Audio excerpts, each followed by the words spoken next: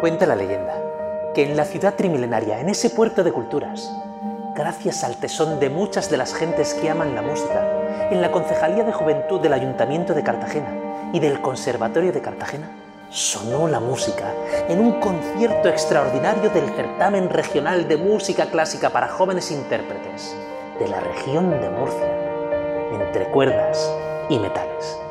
No una música cualquiera, sonó una música especial unas notas que contaban tres historias, tres cuentos, notas que embaucaban, que transportaban al que las escuchaba a un mundo de leyendas, creadas por el gran compositor de reconocido prestigio nacional e internacional, Óscar Navarro. Notas que fluían y danzaban de oído en oído y de corazón en corazón, que provenían de las cuerdas y metales, de las maderas y las manos, pero sobre todo del alma de los músicos de la Orquesta Sinfónica de Cartagena, bajo la batuta de Leonardo Martínez. Pero no se encontraban solos, ya que les acompañaba en este maravilloso periplo José Luis Inglés, que armado con su clarinete cual paladín de las artes, sobrevoló los cielos del paraíso musical con su interpretación soberbia, enérgica y brillante, dejando patente por qué fue el ganador de su modalidad en la decimoquinta edición de Entre Cuerdas y Metales, además de tener múltiples reconocimientos más y una inmejorable trayectoria. La leyenda nos cuenta que estas notas, estas y no otras, sonaron por primera vez a este lado del Atlántico, en un estreno absoluto en toda Europa. El oído estaba tan complacido con lo que escuchaba, que pidió a la vista que hiciera lo imposible para que los ojos también disfrutaran las leyendas. Así que esta pidió las manos del gran dibujante Samlo que se unieran a esta coreografía de música y belleza. Las manos crearon imágenes únicas, que unidas a la música de la orquesta y de este gran clarinetista, dieron como resultado un espectáculo digno de una leyenda. Y también nos cuenta que tras una pequeña pausa, la música siguió con dos obras más para el disfrute de todos, las danzas poloxianas de Borodín y la obertura 1812 de Tchaikovsky. Dice el diccionario que leyenda es una narración de sucesos fabulosos que se transmiten por tradición como si fuesen históricos y lo de hoy será fabuloso e histórico. Así que, señoras y señores, si quieren formar parte de estas leyendas que les brinda el concierto extraordinario del certamen Entre Cuerdas y Metales, organizado por la Concejalía de Juventud del Ayuntamiento de Cartagena y el Conservatorio de Cartagena, abran bien sus ojos y sus oídos. Ah, y apaguen su teléfono móvil, que en las leyendas los teléfonos nunca suenan. Que lo disfruten.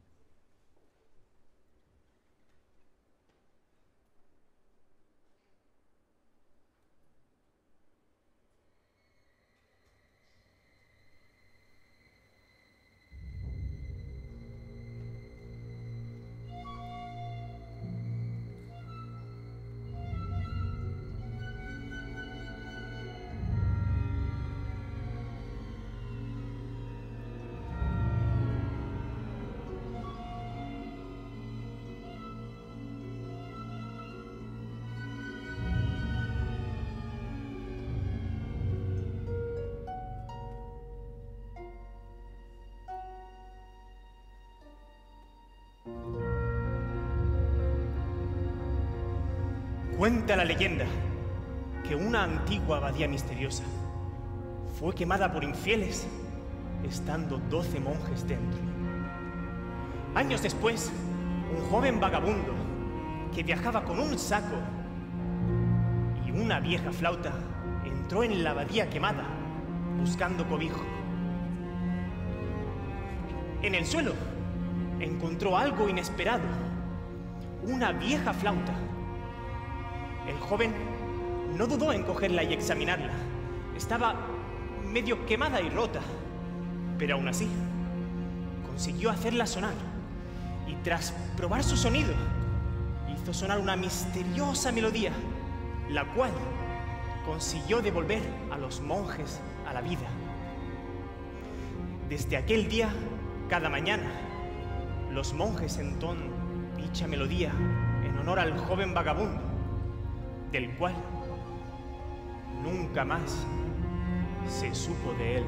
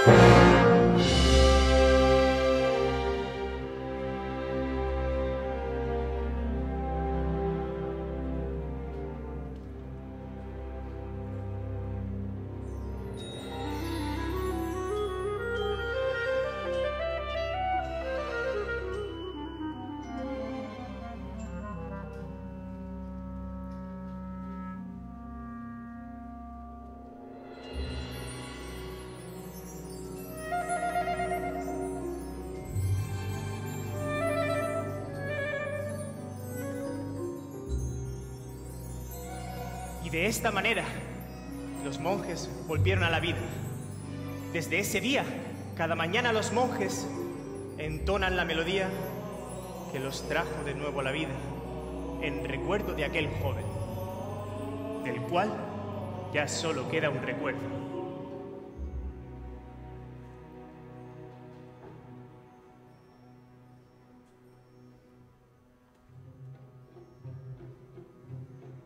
La siguiente leyenda nos traslada a un pequeño poblado de apenas 300 habitantes.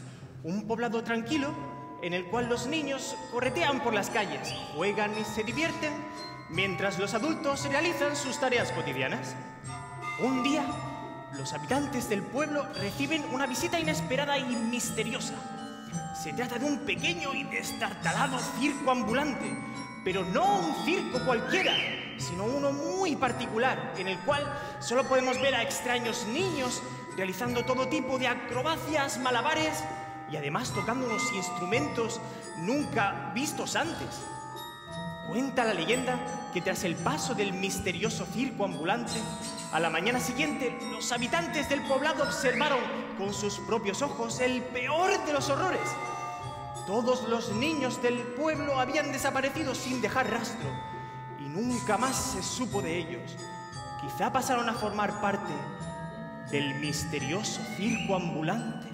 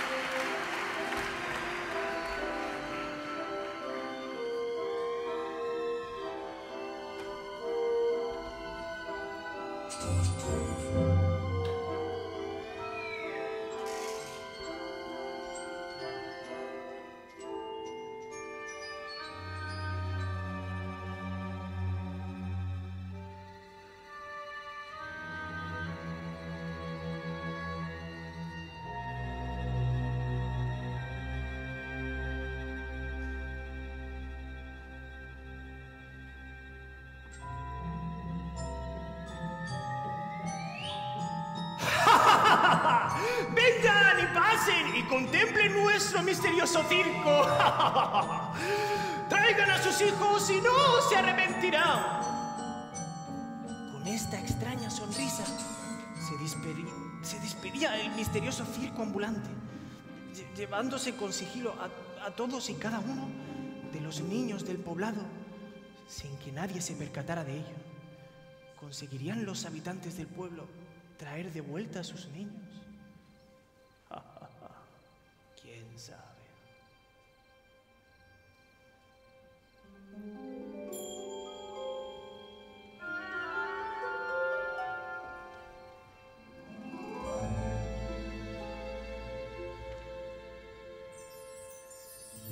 Nuestra tercera y última leyenda nos va a transportar al lejano oriente, exactamente a los jardines de un palacio donde cada noche una joven princesa pasea tristemente a la espera del joven que rompa el maleficio que recibió hace años. Un maleficio el cual le prohíbe enamorarse y ser besada por un hombre. Cada vez que se enamora y la besa a alguien, este se desvanece y desaparece para siempre. Una noche recibe una visita en el jardín del palacio, la visita de un joven muy especial, el cual propone romper el maleficio de una vez por todas. ¿Cuál es la razón por la cual está tan seguro de que el maleficio no tendrá efecto sobre él? Habrá que esperar al beso de amor para averiguar lo que ocurre.